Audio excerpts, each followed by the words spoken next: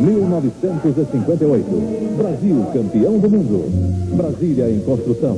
Nasce a Bossa Nova. Nesse clima romântico e alegre vivem Álvaro Galhardo, um viúvo pai de três docinhos. Ana, Yolanda e Cristina. Tia Fausta, uma rica solteirona. Barreto, um empresário que acredita no Brasil. Luiz Fernando, jovem e ambicioso oficial da Marinha. Marta, uma mulher lutando para criar os dois filhos, Tavinho e Murilo. Glória Miller e Beth Nigri, as vedetes do Teatro Rebolado.